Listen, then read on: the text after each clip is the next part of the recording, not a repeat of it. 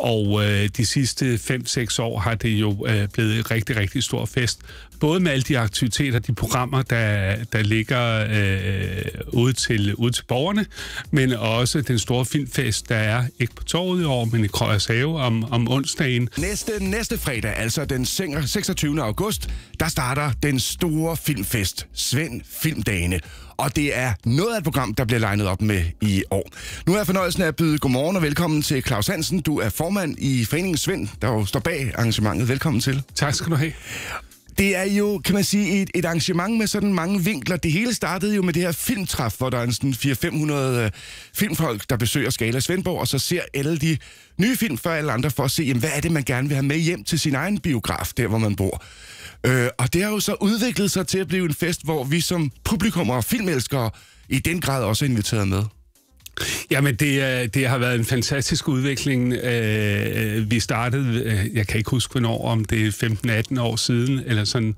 Og øh, de sidste 5-6 år har det jo øh, blevet et rigtig, rigtig stor fest. Både med alle de aktiviteter, de programmer, der, der ligger øh, ude, til, ude til borgerne, men også den store filmfest, der er ikke på torvet i år, men i Krøjers Have om, om onsdagen, hvor vi deler priser ud til, til, til årets bedste film og skuespillere.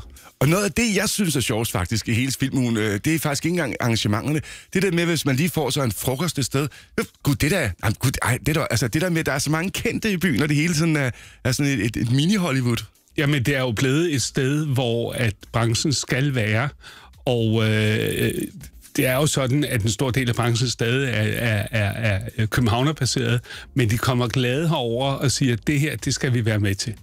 Nu er du jo øh, udover at være formand for Svend, jo også direktør for Film Fyn, og man kan sige, det er jo lige vand på jeres mølle, det her med at sige, men man kan godt lave gode film og filmarbejde andre steder end i hovedstaden.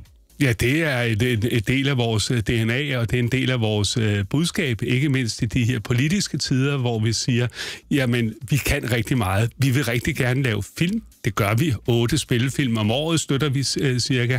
Men vi vil også gerne lave flere tv-serier. Så når du nu giver mig cueet, så vil jeg sige til politikerne, vil det medieforlisforhandlingerne, udmyndningen af dem, giver os flere penge til tv-serier. Åh, oh, hvis bare der snart var et valg. Eller, nå. Nej, ja. Så.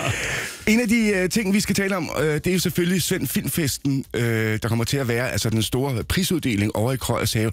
Jeg vil bare nævne først, altså min oplevelse er nu ret med, at det, der er flere og flere kendte med. At det er som om, sådan, for hver gang jeg afholder det, så er der lidt flere af, af de store stjerner, der tænker, ej, det vil vi være med til.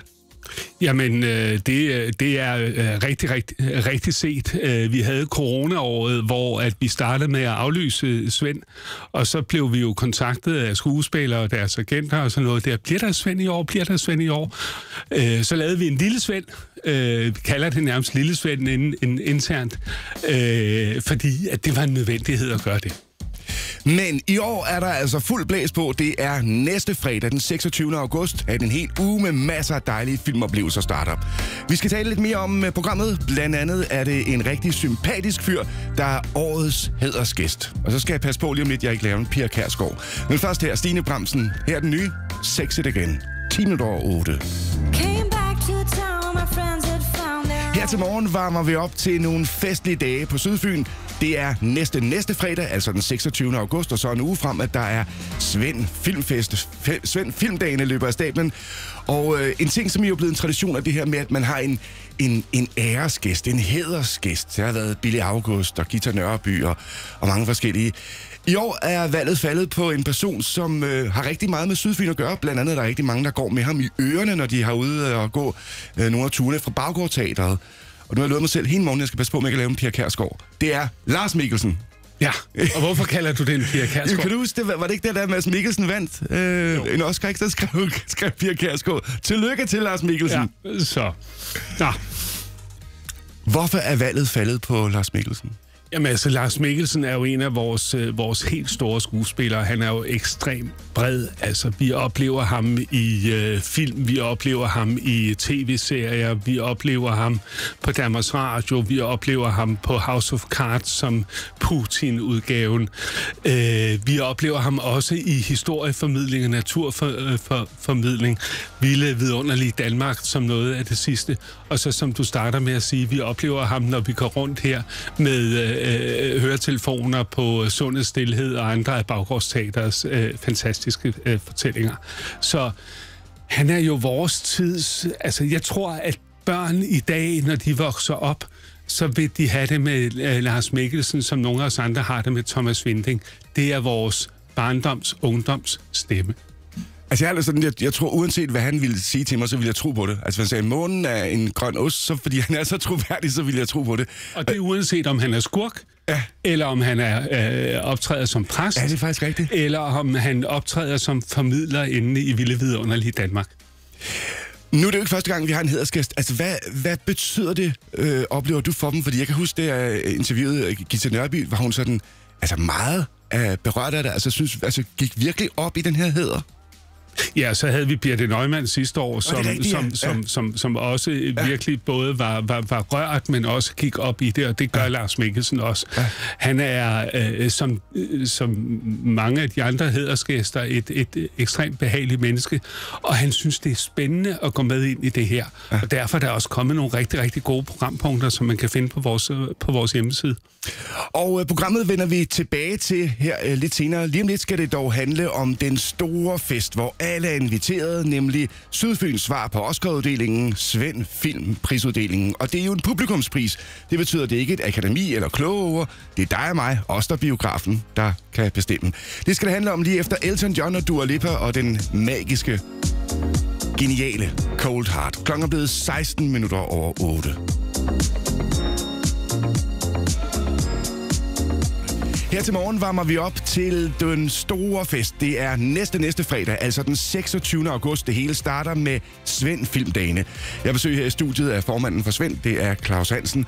Og det, der for mange er så sådan kulminationen på det hele, der hvor det virkelig er, at øh, champagnepropperne springer, det er jo til prisuddelingen Svend Filmprisen. Det er om onsdagen, den bliver afholdt, og det er for, at øh, alle fra hele Danmark kan komme med, og det ikke krambolerer med weekendplaner og, og, og så videre. Og i år er den flyttet fra normalt at være på torvet og så over i Krøjers Have. Det er selvfølgelig, fordi der er kommet en, en legeplads på torvet, der gør, at den rent fysisk ikke kan være der, ikke? Ja, det er, det er den konkrete årsag.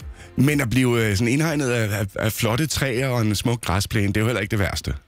Jeg synes, det er en, øh, det er en, det er en rigtig beslutning. Altså, Svend har jo været flere steder. Den har været på Jessens Mole, øh, den har været på torvet i mange år, og, sådan, og nu går vi i Krøjers Have. Vi går i skoven. Men det her med at, at flytte et arrangement, jeg tænker, det, det, det er vel svært, fordi altså, der er så meget logistik. Jeg har også set, når I sætter op til Svend, altså det er jo en helt lille landsby, I laver. Jamen, øh, det er det, og, øh, og der har vi jo dygtige folk øh, nede fra Svendborg Event, som, øh, som, som, som står for det, og, og det er jeg helt tryg ved. Og programmet i år, jamen det er jo som det plejer at være, at det er publikum, der har stemt, og så uddeler man så priser. Og verden, jamen øh, nu havde vi jo Peter Fordin, som i øvrigt var, var en kæmpe succes Hvem er det, der kommer til at stå i spidsen i år? Det er Lars Hjortøj. Ja? Ja, så... Så der er også garanteret for sikkert lidt komik på scenen? Ja, men det, er, det, er, det er jeg sikker på, og vi har jo set nogle af hans uh, teaser-trailers til Svend uh, ligger ude på vores Facebook-side, ja. og sådan. Han er, han, han er helt klar til, uh, til opgaven. Så. Og så skal jeg lige sige, at øh, vi jo altså mødes igen om en uges tid, fordi der går vi simpelthen programmet igennem, der kigger vi på nogle af de helt præcise ting. Hvad er det, man kan opleve? Ja. Øhm, og der er øh, få ting, der koster noget, men rigtig meget er det jo gratis. Der er jo rigtig mange muligheder for os, selvom man i disse sparetider ikke har så mange penge, og, og være med på rigtig mange af tingene. Ikke? Ja, altså, jeg, jeg synes, øh, som sagt, folk skal gå ind på vores hjemmeside og, og, og pløje programmet igennem. Og øh, det er blevet rigtig, rigtig stort i år, og det er jo fordi, at der, vi har fået flere og flere samarbejdspartnere, som, øh, som byder ind øh, med forslag og programforslag. Jeg ved, Naturama og mange andre lokale institutioner har valgt at ja. gå ind og sige, at vi, vi vil gerne være med i det her, være en del af det altså Naturama, Demensbyen, sådan to, to øh, forskellige ting. Øh, fri, øh, fritidspiloterne over på, på, på Tåsinge, der laver, der laver fly-in med en overraskelsesfilm, Sankt Jørgens Kirke. Øh, sådan. Og det er jo med til at, det er med til at vækste, film, øh, til, øh, vækste Svend, altså sådan, øh, at klæde byen på øh, til, til, til film med en masse filmaktiviteter. Både for dem, der bare bliver underholdt af film, men også dem, der gerne vil, vil, vil sådan lige lidt mere øh, omkring, omkring filmene, og det, der ligger rundt omkring filmene. Vi glæder os, og jeg glæder mig til, at du kommer tilbage næste tirsdag. Jeg glæder mig også. Tak for besøget. Velkommen. Vi elsker hele Sydfyn. Diablo. Diablo.